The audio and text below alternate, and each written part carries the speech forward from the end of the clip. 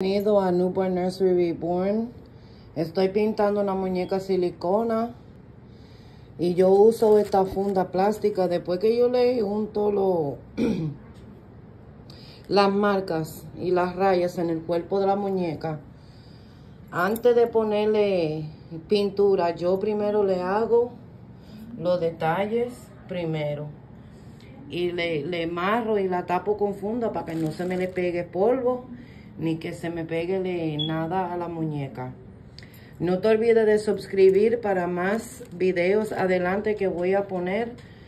Um, cómo se pinta silicona, los productos que tú puedes usar, porque en el internet te dicen que es Psycho Paint nada más. Y eso no es cierto. Tú puedes usar muchas pinturas diferentes, pero para yo contarte, yo te voy a decir las pinturas que tú puedes usar. Mira esta bebé cómo está quedando. Tiene su vena, su marlin, tiene su cosa muy preciosa, sus cejas.